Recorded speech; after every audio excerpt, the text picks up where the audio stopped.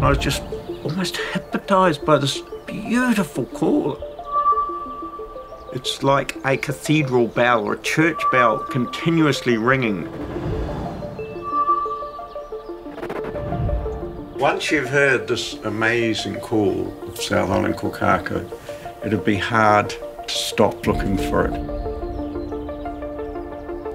There's a bird here somewhere.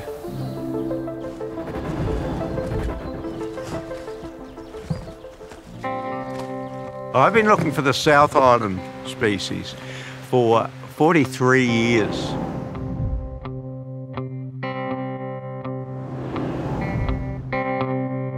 One late afternoon, just before dark at Lake Monowai, I heard this most amazing, ethereal church bell ringing call and thought, I think that must be the call of kokako. I started getting interested whether these birds were here or not. So a cup of tea or a cup of coffee? And I started very long expeditions to try and find the bird.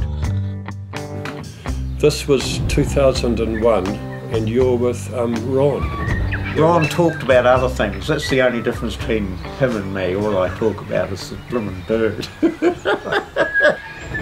this is in Granville Forest just north of Greymouth, between Greymouth and Reefton.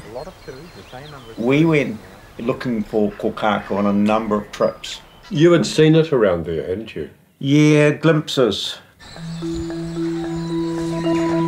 Kokako are a reasonably big bird, bigger than a tui and smaller than a kereru.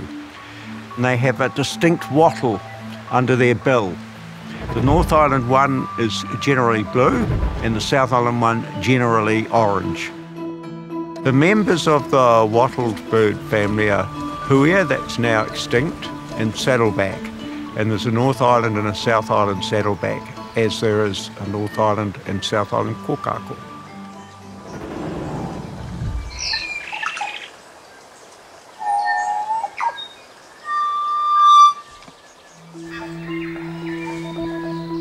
Often on these trips we do do a bit of playback. We play back the North Island kokako call. One of the objectives is to try and get the bird to start talking. We might have recorded. That's right. When Ron was playing back a recording, yeah. a bird answered that certainly right. was very, very interesting.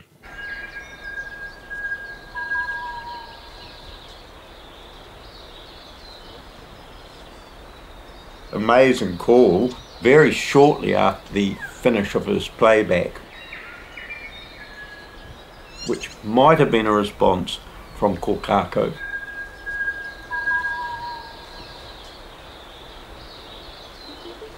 Granville Forest is a sad story because the birds now are very quiet.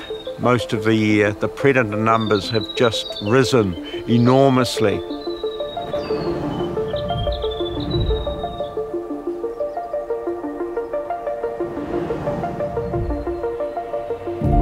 Has there been a positive, obvious recording ever? Yes, but it's not official. Only two pairs of ornithological ears have heard it.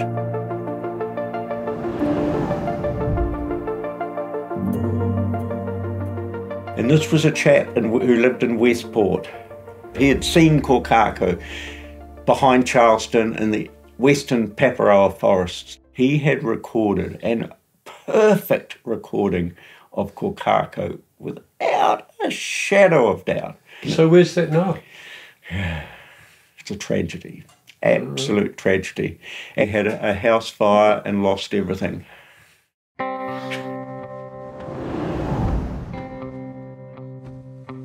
Well, this is a manufactured from what we heard. This is what it sounds like.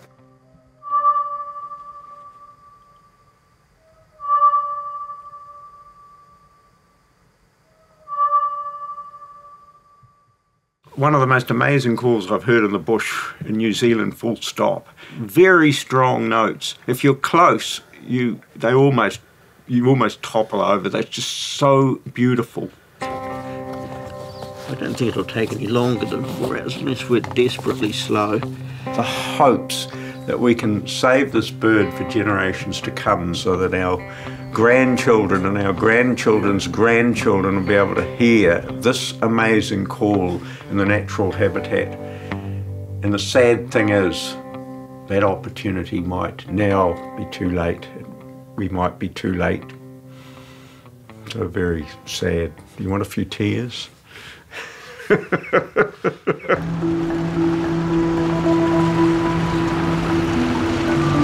are at Canaan, which is on the edge of the Abel Tasman National Park. How often are you coming in here? Lately, it's been every two to three weeks. So you've made this a bit of a HQ for you. Yes, close to home, and one area in the centre when I was in with some North Island Kokako ecologists, they thought they heard two birds.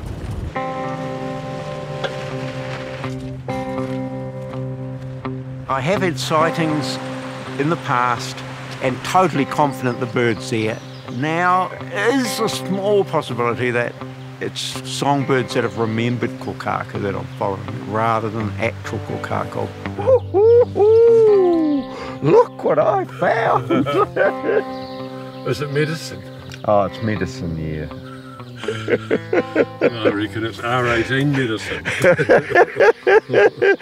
Could be. Ever been carted out in a helicopter? No, never seriously injured, just sometimes strains and sprains, but no breakages. You're not bad for 75. Very lucky for an old bugger, aren't I? Very lucky. No heart attack here. Oh! Oh,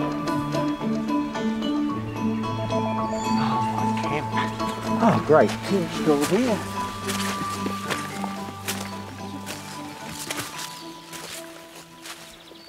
Yep. Looks as dry as a bone. The wekas are no problem, as long as the keys haven't made a hole for them to get inside. I love my weka. They quite like it when I arrive. I mean, when you're eating food, there's crumbles. In close to this tent camp is a hotspot area where I've heard kokako. We're heading over to a camera and a model bird I've used in this case. Cameras are working for us all the time. Yeah, right. If I came in here to try and find a kokako, I might get a glimpse of the bird in three months. There's probably only one or two birds left. Started with five cameras I'm up to 21 in total in this area. So now we go looking at images. Oh, a rat. A damned rat. Look at that. Rats, rats, rats, rats. This is what this camera does. It activates with infrared on motion. No cooker. But we live in hope. Walking to another camera site. The bird must be on its way out. How they've survived till now with all the predators. In the South Island, food at certain times of the year probably gets quite grim, so they're possibly more reliant on insects. They might have to spend more time on the ground where they're more vulnerable to predators. We're coming down into an area that's been quite a hot area in terms of interesting calls. I call this thicket saddle. In September 2020, when I was servicing a camera, sticking batteries and new batteries in a camera, and suddenly from this gully, from down here where we are now, I heard two calls which were identical to North Island Kokako.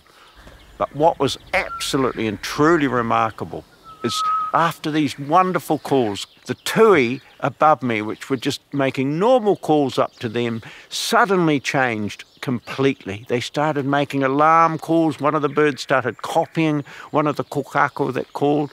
It was just a dramatic change. I'm sustained by those moments when the bird decides to reveal itself.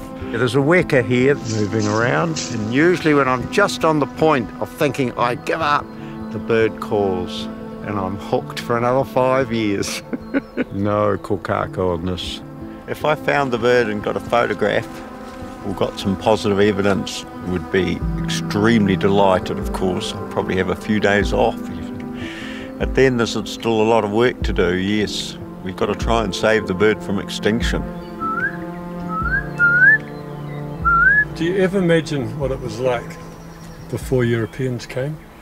Absolutely amazing. Take me back there, make me a little craft, a time machine craft. There would be South Island kokako, you could hear in reasonable numbers at times. There'd be heaps of tui and bellbirds and smaller birds. There would be the little bush wren, now extinct. And going back in time, the adze bill which would be like the weka here on the ground. And then the moa, a long time ago, there'd be a wee bush moa in here. Birdland. I love the bush. It's magical. If I drop dead right now, you can bury me here, and I'll have had a good life.